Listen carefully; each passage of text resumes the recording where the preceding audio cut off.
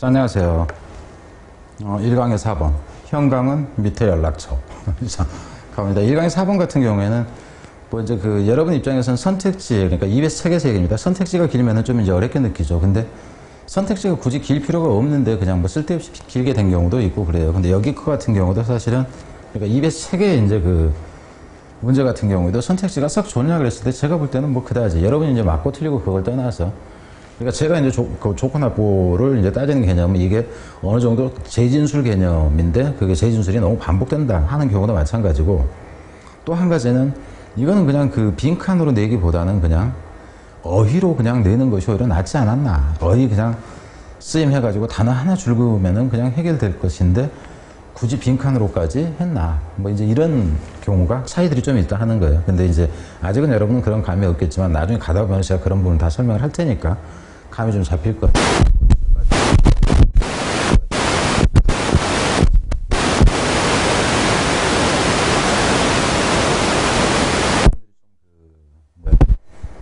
머리 소위 여러분 체화라고 그러는데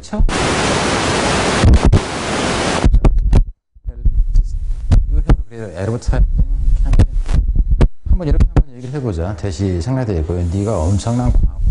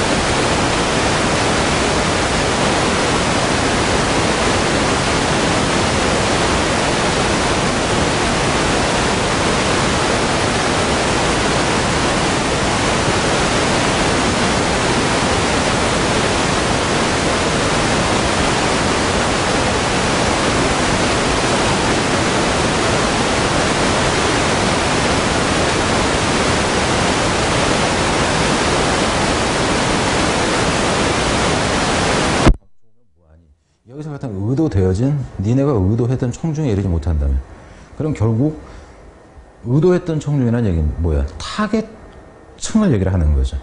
그럼 지금 이 부분만 본다 해도 빈칸으로 나왔는데 여기서 같은 경우는 기본적으로는 제목형으로 간다 치면은, 치면은 제목형으로 간다 치면 제목형 빈칸이라고 합시다. 그런데 이 부분 자체를 가지고 이걸 넣어버리는 것도 가능하다 하는 거예요. 뒤로 갑시다. 그리고 이제 또 한 가지 보는 방법은 뭐냐 하면은 여기 지금 suppose 이렇게 나오죠. suppose 이렇게 나오는데 suppose나 음, imagine이나 consider나 이런 것들이 나오면 일반적으로 뒤에는 예를 드는 형태예요. 가정해보자. 뭐 이렇다면은 이렇게 된다 하는 거예요. 그러니까 이거는 문장의 순서를 정할 때에도 역시 여러분들 생각을 해야 된다 하는 겁니다. 한번 가정을 해보자. You are, you are selling handphone. 그러니까 네가 통조림 이제 그 can 이제 그러니까 뭐 문제 단팥죽 캔 이렇게 봅시다. 단팥죽 캔을 판다고 해보자. the media team 매체 이제 영상 팀으로 보면 되겠죠. 매체 팀이 광고를 하는 데 있어서요. 매체 팀이 target traditional user of canned food soup. 그래서 이제 그 캔화되어져 있는 이 죽으로 봅시다. 그래서 죽의 전통적인 사용자. 이건 환자들이 먹잖아. 애들이 이유식으로 먹잖아. 뭐 이렇게 보자 하는 거예요. 근데 그 사람들이 어떤 사람들이냐면은 어린애들의 엄마인 이런 전통적인 그 사용자들의 타겟을 맞췄다 치자. 그렇지만은 the copy. 여기서 카피라는 개념은 뭐냐면 여기서 word가 되겠죠. word. 광고 문구. 그죠? 이 카피팀은 여기서 copywrite를 얘기를 하는 거예요. copywrite. 광고 문안을 얘기를 하는 겁니다. 이 팀이 prepares advertisement intended to encourage single people. single people. 여기 single people은 엄마들이 아니죠. 그죠? 혼자 사는 거고 혼밥 쪽. 혼밥 쪽을 그죠? 그 자극하는데 의도되어진 광고 카피를 준비했다 하자 하는 거예요. 그래서 인커리지 목적으로 투부정서라고 합니다. 이 사람들이 사용하도록 죽을 좀 빨리 그러고 건강에도 괜찮은 음식을 먹기 위해서 나 혼밥 쪽인데 여럿이 먹는 게 아니라 나는 혼자 먹으니까 맨날 라면 먹으니까 영양실조 걸릴 수도 있으니까 좀 그, 그걸 보충하기 위해서 잣죽 무슨 죽도 이제 뭐 사놓고 먹는 그런 대상을 했다 하는 거죠. 지금 타깃이 틀려요. 그죠? 미디어 팀에서 미디어 팀이 그러니까 여기서 미디어 팀이라는 걸 여기서 비주얼 팀으로 보세요. 비주얼 팀. 그러니까 시각 영상 팀, 영상 팀은 그죠? 엄마들을 대상으로 했는데 카피 문안, 광고 문안 쓰는 놈은 혼밥 쪽한테 초점을 맞췄다. 이렇게 되는 거예요. 그러니까 뭔가 지금 통일이 안 된 거, 안 된 거죠. 그러니까 잘못 전달되든가 타겟층이 잘못되지는 거예요. 어, the message will not make much sense to the media audience. 그럼 그 메시지는 여기서 그 메시지라는 얘기는 여기서 이 카피를 얘기를 합니다. 이 카피로 그 메시지를 받은 거예요. 그 메시지는 여기서 이 부분도 역시 마찬가지죠. will not make much sense. 그래서 make, make much sense. 그러니까 사리에 맞다 하는 거 사리가 맞지 않아요. 누구한테? 미디어 오디언스한테는. 그러니까는 그 미디어, 여기서 미디어라는 개념은 미디어, 여기서 미디어는 그러니까 영상에서 그 뭐야 그 영상을 통해서 이제 그 텔레비전을 통해서 이제 듣는 그 청중 정도로 보세요.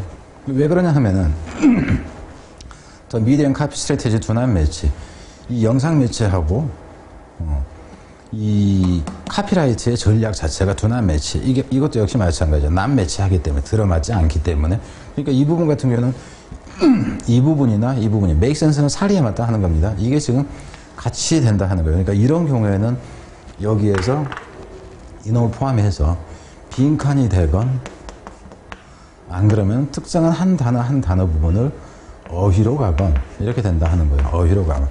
근데 어휘 가치로 하자니 이런 경우에는 의미는 실제로 나세가 의미가 실리죠. 그리고 여기서는 메이크 센스 해야지 실제로 사리에 맞다 이렇게 나와요. 이런 경우에는 단어로 내기가 참 애매해져요. 그럴 때는 차라리 빈칸 처리하는 수도 있고 전체 내용을 좌우한다면은 자 갑니다. Great advertising message in front of the wrong audience. 그래서 이제 EBS에서 참고로 얘기를 하자면은 EBS에서 빈칸을 한 부분이 이 부분이에요. 이 부분. EBS에서 빈칸은 쓸데없이 길어졌다 하는 얘기가 지금 다른 얘기가 아니라 이겁니다. 그럼 저는 이거다 치면은 어느 한 부분만 단어를 그으면 되냐 하면은 이거 한 부분이에요. 이거 한 부분. 이거 하나만 그으면 그냥 단어로 가요. 그리고 이 단어는 쉬워요. 왜냐면 사리에 맞지 않아요. 들어맞지가 짝이 맞지가 않습니다. 잘못된 겁니다. 이렇게 가는 거죠. 그럼 이거를 빈칸으로 이 단어 하나를 살려주는 게 EBS 문제인데 이 단어 하나를 살리기 위해서 여기서부터 여기까지를 줄을 그었다 하는 거예요. 이거는 그 올바른 적절한 출제 방식이 별로 아니다 하는 겁니다. 문제 전체 맥락에서 봤을 때. 그래서 아주 대단한 이 광고 메시지가 in front of the wrong audience. 그래서 여기까지가 이제 그 EBS에서는 여기까지 그 문제를 냈을 거예요. 여기서 wrong이라는 얘기는 타겟을 잘못 아니야. 여기서 로, wrong audience라는 것이 이 intended 한 게 잘못되어진 네, 의미입니다. 그래서 잘못된 청중 앞에 주어지는으로 보면 되겠죠. 잘못된 청중 앞에 주어지는 대단한 이 광고의 이 메시지가 효과가 없다 이렇게 나야 돼요. 메시지는 이제 total waste of time and effort. 그럼 저렴은 어디로 가냐면은 이 부분으로 가요. 여기서 long 한 단어 해놓고 여기서 total waste 이 단어로 가요. 그럼 여긴 차라리 이거 이렇게 하면은 오히려 이게 더 나을 수도 있죠. 근데 단어 가치는 별로다 하는 겁니다. 그래서 지금 여기서 같은 경우는 빈칸 쪽보다는 어휘 쪽이라든가 이게 좀 더 낫다 아, 하는 거예요. 그러니까 이건 좀 둘 다 그렇게 썩 아주 아주 좋다는 아니에요. 뒤로 갑니다. If you focus on message strategy and ignore the media strategy. 네가 만약에 이 메시지 자체의 그 전략은 강조하면서 무시한다면, 미디어 전략은 무시한다면, 위에서 보면은 메시지는 좋았는데 그 이제 광고 그 미디어에서 그러니까 대상이 적절하지가 않아. 라디오를 통해서 했냐 뭐 뭐를 했냐까지를 포함을 해서 그래서 여기서 같은 경우는 이거는 강조하면서 이거는 무시한다면 이렇게 되죠. 무시한다면은 그러면은 결과는 어떻게 돼요? 결과는 어떻게 돼? 효과가 없다 이렇게 나와요. 효과 없다고 결국 어떻게 나옵니까? you risk 문법에서는 여기서는 risk다 하면은 risk는 동명사를 목적으로 취합니다. 그래서 결국 어떻게 나요? damaging the entire package. 그럼 이게 되는 거죠. 다시. risk damaging이에요, damaging. entire package. 그러니까 여기서 이제 패키지라는 얘기는 광고 전체를 얘기를 하는 거죠. 가장 좋은 부분이 빈칸으로 간다 치면 오히려 이 부분이 가장 좋을 수가 있어요.